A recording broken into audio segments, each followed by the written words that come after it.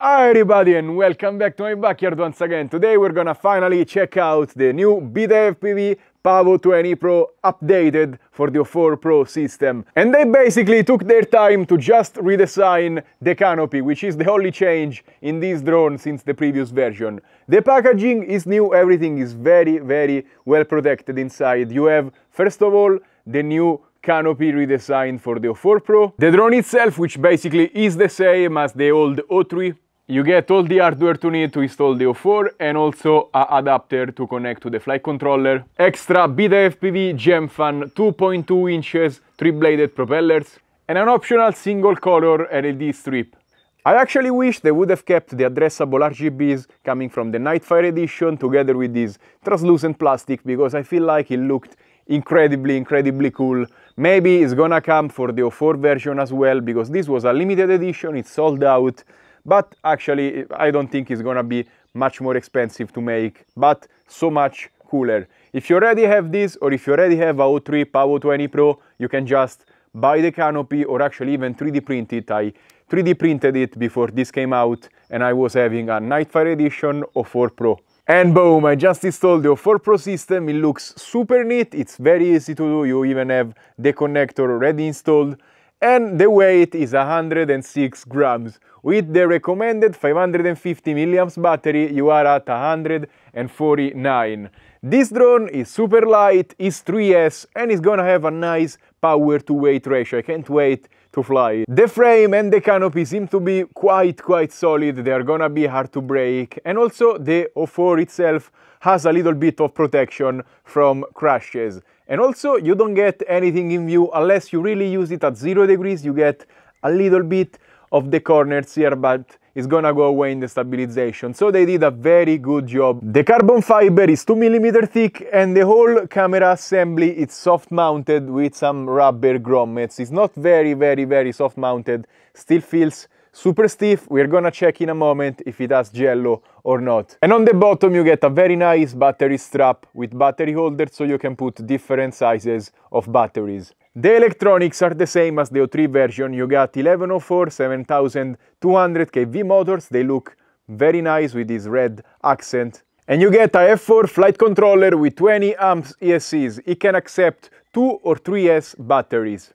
And finally, it's time to fly. I'm gonna use a 550 milliamps 3S HV battery, which is the recommended size for this drone and I already know it's gonna be quite zippy, so many people, maybe beginners, don't have the sensitivity for the throttle. For those people I recommend either using a 3S battery and lowering the throttle percentage, I'm gonna show you in a moment how to do that. If you wanna fly indoors and make the drone a little bit tamer, I'm gonna also try later a 1000 2S battery, so it has less power and it's gonna move a little bit smoother. Let's fly! So first of all, it sounds quite smooth. Quite smooth, doesn't make too much noise. And actually, it doesn't feel, yeah, it's a little bit zippy. Now my thumbs are, uh, are quite used to flying, so I can uh, adjust the throttle. Maybe for a novice, I hear a lot of people complaining about the throttle being a little bit too sensitive. Let's put it in acro and see if it has jello. I see some little shake, but it's pretty, pretty well tuned and I don't think this shake is gonna go into the, into the stabilization footage. So when you push it makes a little bit of noise, but the tuning on this drone seems to be very, very, very nice. And I remember the O3 version, I flew with it like one month ago with the O4 on it. And this drone is really really good.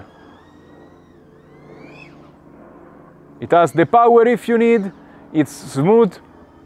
And I know a lot of people are gonna ask if it's better than the Flylens 85 and the Flytimes 85 I don't know I don't know it's up there for sure it's just a question of preference at this point this is gonna be like 40, 30 grams heavier, which is uh, not a deal breaker probably. It's gonna have uh, quite a bit more power. It has if you go slow, maybe better efficiency since it has a little bit bigger propellers, which is always a pro. It's the same size as those drones, but it has bigger propellers. So at that point, it's a pro.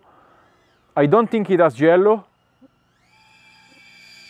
So the soft mount works. It's more resistant. Uh, I don't know, my heart loves the Flylens 85 but maybe for a beginner, this is gonna be a little bit more uh, resistant package. You can do everything. You can fly indoors, outdoors. Really, really, Beta FPV made a really nice drone. So I don't know, it's a question of preference in my opinion. They all are pretty good.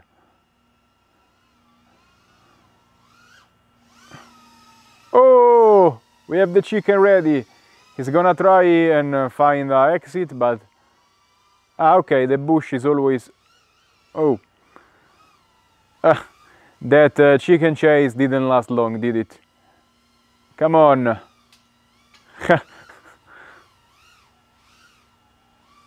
Man, this table is freaking rusty. No, chicken got, have gotten smart. They don't. Uh, they don't get chased anymore. Look at that, crazy. Also, I have up, I have updates on the magpie nest. They have uh, kept building it a little bit, and they are fighting with a crow. Actually, I don't know what, what's happening, but they also have built other tree nests. One on one of these trees down here. I saw them building it and another one in another tree I didn't find, but they have three nests and they are fighting a battle with crows. So I feel like the crows, no, no, actually I don't feel like, I have seen the crow coming and destroying their nests, it's, uh, it's wild. So I don't know, Let, let's see what happens. Still that nest is too close to my house and I don't think they're gonna be very happy having uh, the the puppies there.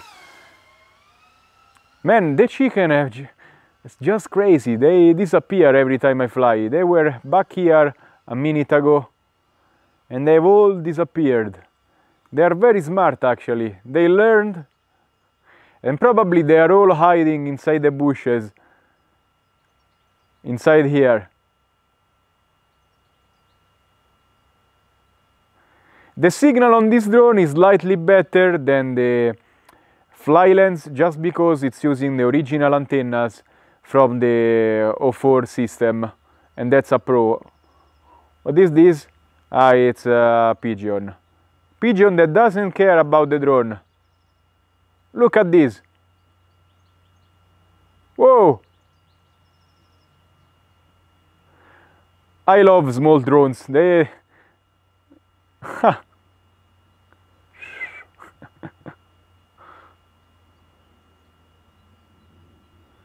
the chicken have just uh, oh maybe maybe no no no no no where the hell are they so 10 volts the battery it's uh, it's very low i should start coming back we have been flying for 5 minutes 29 which is a respectable time. I need to land, I forgot to look at the voltage.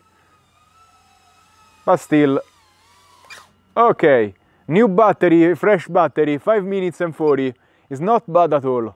And now it's time to fly with the 1000 milliamps, which doesn't fit horizontally because the mount for the battery is too tight. I needed to put it vertically, but still it's gonna fly fine. Now if you don't wanna use a 2S battery, you only have 3S, which is probably the recommended thing, you can do this with your stick and go to throttle limit and just reduce it to the point you feel a little bit more confident when you begin.